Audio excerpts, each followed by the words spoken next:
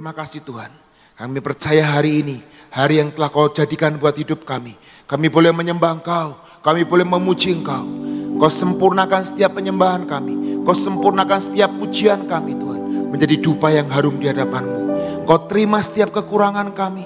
Kau terima setiap apa yang menjadi kerinduan kami di hadapanmu Tuhan. Dan kami percaya Tuhan, pengharapan kami tidak akan pernah sia-sia. Karena kami percaya Engkaulah sumber pengharapan. Dan pengharapan itu tidak akan pernah sia-sia dalam kehidupan kami. Terima kasih Tuhan Yesus. Kami ucap syukur Tuhan buat hari ini. Hanya di dalam nama Tuhan Yesus Kristus. Katakan amin. Mari kita buka dari Roma 15 ayat 13 saudara. Kami percaya Tuhan. Pengertian hikmat surga turun buat setiap kami. Di dalam nama Tuhan Yesus. Kita buka di Roma 15 ayat 13. Kita mau bacakan, saya mau bacakan buat saudara. Semoga Allah sumber pengharapan memenuhi kamu dengan segala sukacita dan damai sejahtera dalam iman kamu supaya oleh kekuatan Roh Kudus kamu berlimpah-limpah dalam pengharapan.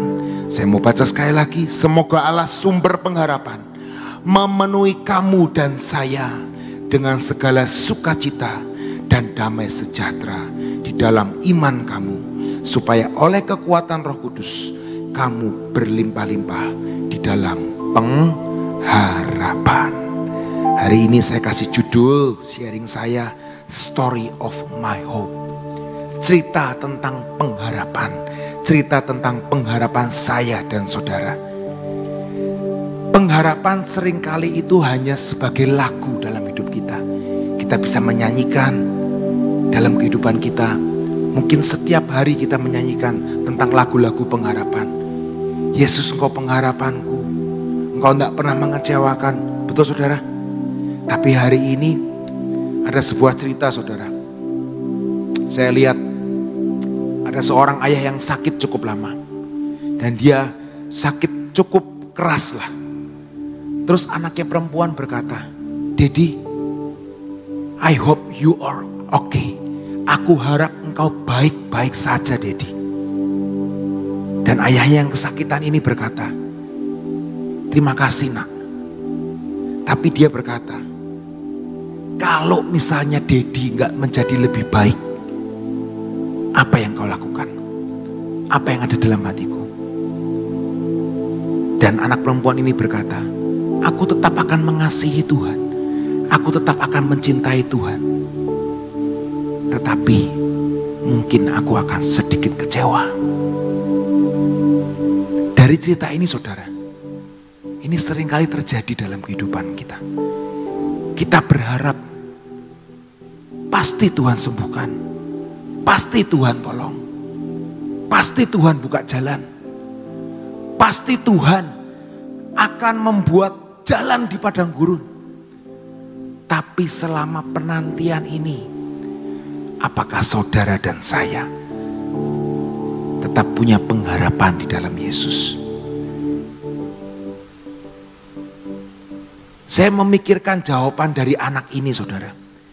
Ya, ya Pak, saya akan tetap mencintai Tuhan maupun Papa sakit. Saya tetap akan mencintai Tuhan, akan mengasihi Tuhan kalau Papa nggak sembuh. Tapi anak perempuan ini berkata, mungkin aku akan ada sedikit kekecewaan. Selidiki saudara. Mungkin di dalam hatimu yang terdalam. Ada sedikit kekecewaan. Ada sedikit titik hitam. Oh ya, kok enggak Tuhan tolong ya? Kok enggak Tuhan sembuhkan ya? Kok enggak Tuhan pulihkan ya? Tapi hari ini saya ingin mengajak saudara. Ayo untuk memiliki yang namanya pengharapan di dalam Yesus. Di saat kita di dalam kesesakan, itulah saatnya. Sangat mudah kan saudara, untuk memiliki pengharapan di dalam Yesus. Siapa pun saudara yang mendengarkan stream hari ini, ketika engkau dalam kesesakan, ingat masih ada pengharapan. Masih ada Yesus. Amin saudara. Kita mau buka di Mazmur 115 ayat 3. Mazmur 115 ayat 3 berkata, Allah kita di sorga, ia melakukan apa yang dikehendakinya. Itu sudah dalam ketetapan Tuhan. Itu sudah ada di dalam namanya suratan ia melakukan apa yang dikehendakinya. Kalau hari ini engkau ada di dalam keputusasaan, engkau ada di dalam sesuatu keterpurukan, engkau ada di dalam sesuatu yang ketidakenakan, mari tetap berpegang pada pengharapan itu. Never give up. Never give up. Nggak gampang. Yes, nggak gampang saudara. Tapi Yesus adalah jawaban. Amin saudara. Di 2 Korintus 4 ayat 16 sampai 18 mari kita baca. Manusia itu selalu lihat yang kelihatan saudara. Tapi Yesus yang kita sembah, Tuhan yang kita sembah, melihat yang tidak terlihat sekarang. Amin. Kita nggak tahu apa yang ada di depan sana. Bahkan tahun depan, bahkan hari esok kita nggak tahu. Tiba-tiba bisa gempa, tiba-tiba bisa ada gempa bumi, tiba-tiba ada sesuatu yang tidak enak, tiba-tiba ada sesuatu yang membuat usaha kita dihancurkan. Tiba-tiba keluarga kita seperti ini. Tapi percaya, Yesus Tuhan yang pegang kendali. Sekalipun engkau di dalam lembah kekelaman, dia Tuhan yang tidak pernah meninggalkan kita. Amin saudara. 2 Korintus 4 ayat 16 sampai 18 berkata sebab ini. 2 Korintus 4 ayat 16 sampai 18. Sebab itu kami tidak tawar hati. Tetapi meskipun manusia lahari, lahiriah kami semakin merosot. Namun manusia batinnya kami diperbarui dari hari ke sehari. Sebab penderitaan ringan yang sekarang ini mengerjakan bagi kami kemuliaan yang kekal. Kemuliaan kekal yang melebihi segala-galanya. Jauh lebih besar daripada penderitaan kami. Sebab kami tidak memperhatikan yang kelihatan, melainkan yang tak kelihatan. Karena yang kelihatan adalah sementara, saudara. Betul? Karena yang kelihatan adalah sementara, sedangkan yang tak kelihatan adalah kekal. Hari ini mungkin kita berkata, ya percaya saja. Tapi memang gak segampang membalikan tangan saudara. Hari ini hidup saya dan saudara mungkin mengalami sesuatu yang gak enak. Tapi percayalah, dia tetap Tuhan yang baik. Itu gak merubah esensi Tuhan. Bukan masalah kita ke Tuhan yang merubah kasihnya. Tapi kasih Tuhan itu sepanjang masa. Pernah berubah kasihnya. Kita bisa berubah kasihnya. Seringkali kita gak dijawab. Seringkali kita gak disembuhkan. Seringkali masalah kok gak breakthrough breakthrough ya. Kok nggak sesuai dengan rencana saya ya? Seringkali kita berkata, coba kalau begini, coba kalau begini, coba kalau misalnya hidup saya begini, coba kalau suami saya begini, coba kalau anak saya begini. Mungkin hidup saya akan lebih baik. Tapi hari ini, percayalah, God is so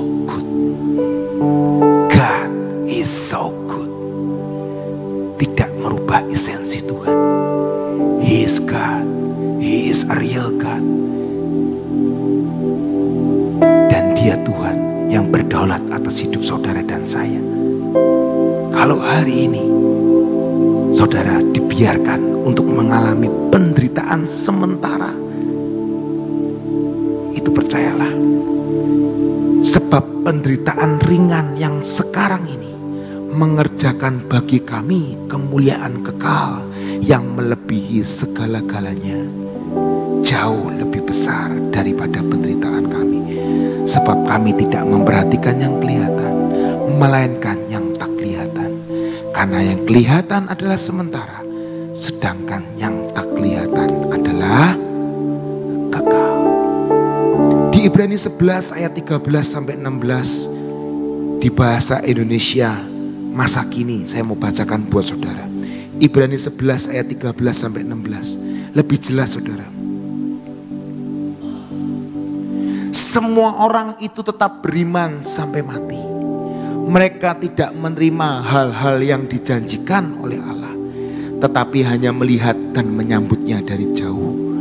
Dan dengan itu, mereka menyatakan bahwa mereka hanyalah orang asing dan perantau di bumi ini. Orang yang mengatakan demikian menunjukkan dengan jelas bahwa mereka sedang mencari negeri yang akan menjadi tanah air mereka bukan negeri yang sudah mereka tinggalkan itu yang mereka dipikir-pikirkan. Sebab kalau demikian, maka sudah banyak kesempatan bagi mereka untuk kembali ke negeri itu. Tetapi nyatanya, mereka merindukan sebuah negeri yang lebih baik, yaitu negeri yang di surga. Itulah sebabnya Allah tidak malu kalau mereka menyebut Dia Allah mereka, sebab Allah sudah menyediakan sebuah kota untuk mereka.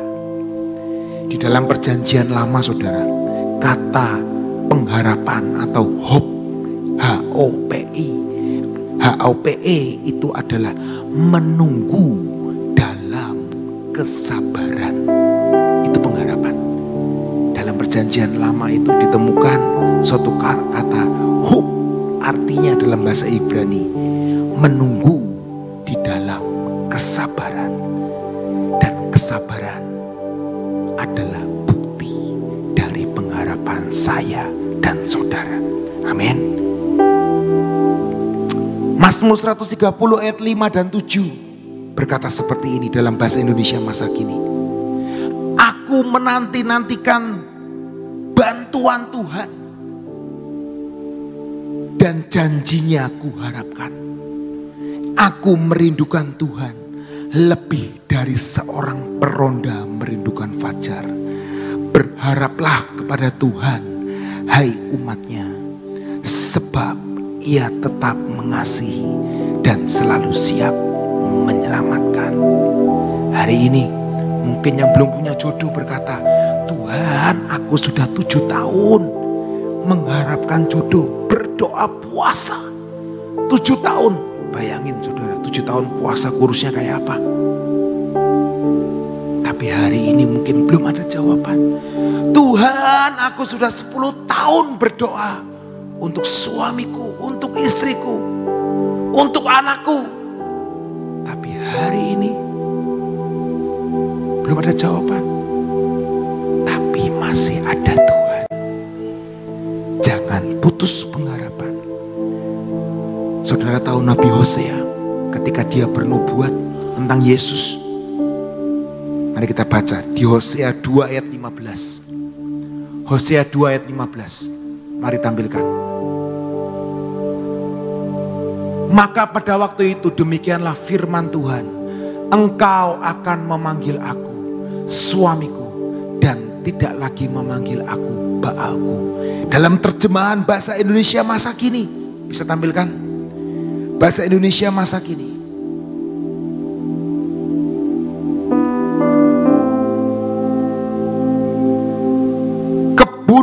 kebun anggurnya akan kukembalikan kepadanya. Dan lembah kesusahan akan kujadikan pintu pengharapan. Di sanalah ia akan menyambut aku seperti pada masa mudanya ketika ia baru keluar dari Mesir. Di Hosea ketika dia bernubuat dan lembah kesusahan akan kujadikan pintu pengharapan. Ini di Hosea berapa ini? Ayat 18, 19, 15, ya. Di sini ada kata pintu pengharapan. Bukankah Yesus di Yohanes 10 ayat 19 berkata, Akulah pintu. siapa masuk melalui aku, aku akan selamat. Ia keluar masuk dan mendapat makanan. Yohanes 10 ayat 19 berkata, Akulah Yesus adalah pintu. Hosea bernubuat 400 tahun sebelum Yesus lahir saudara. Dan dia sudah meninggal.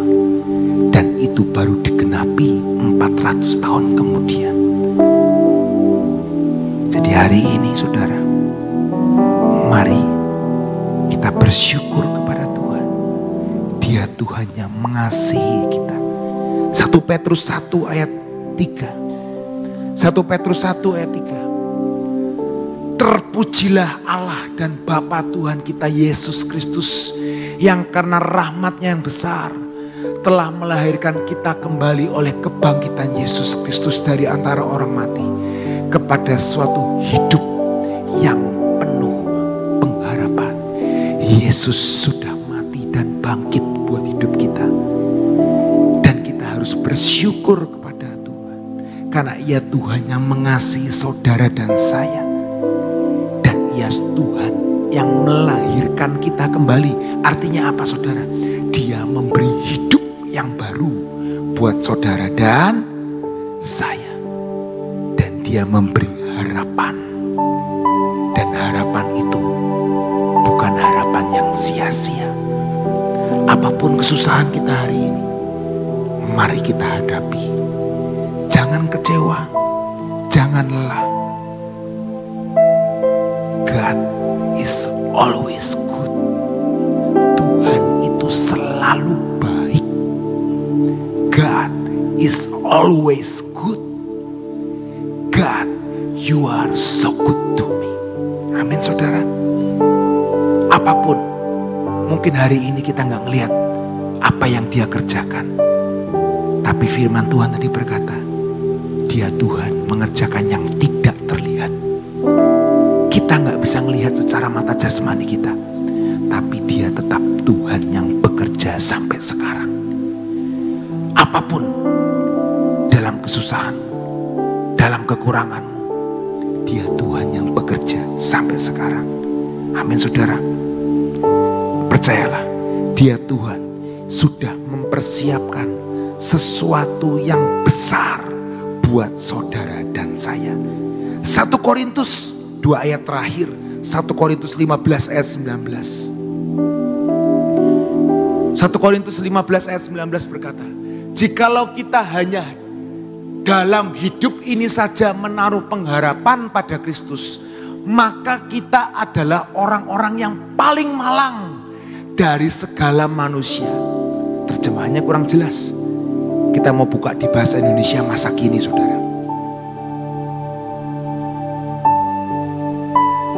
Bahasa Indonesia masa kini berkata, kalau pengharapan kita kepada Kristus terbatas pada hidup kita di dalam dunia ini saja.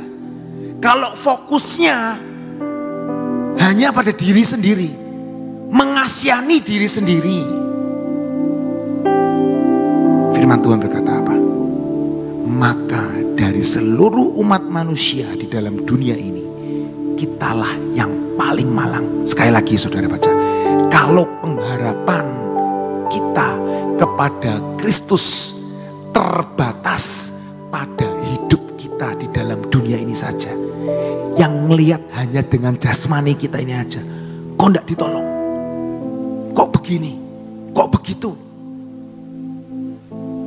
Kita hanya fokus pada diri kita sendiri. Di dalam dunia ini saja. Maka dari seluruh umat manusia di dalam dunia ini. Kitalah yang paling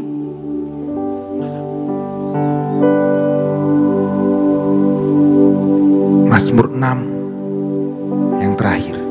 Mazmur 62 ayat 6. Mazmur 62 ayat 6 berkata, hanya pada Allah saja aku tenang. Sebab daripadanya lah harapanku. Saya berdoa Tuhan memberi jawaban kepada setiap doa saudara-saudara. Saya berdoa Tuhan memberkati saudara dengan limpahnya. Menjauhkan dari segala matapa, malapetaka. Dan saya percaya jawaban dari doa saudara adalah dalam pengharapan saudara kepada Tuhan. Amin. Mari kita berdoa. Tuhan Yesus kami mengucap syukur Tuhan. Kami percaya Tuhan. Inilah cerita dari pengharapan. Biar hari ini Tuhan kami tidak kecewa sama Engkau. Biar hari ini kami tidak pernah ragu kepada Engkau. Karena pengharapan itu tetap ada. Di dalam kesesakan kami, itulah waktu yang tepat. Kami mau berharap kepada Yesus seutuhnya. Ketika harta kami, ketika kekuatan kami nggak bisa menolong kami, kami hanya mau bersandar kepada Yesus. Karena engkaulah sandaran kami Tuhan yang berjanji sampai masa tuamu, sampai putih rambutmu, akulah Tuhan yang sama. Terima kasih Tuhan buat hari ini.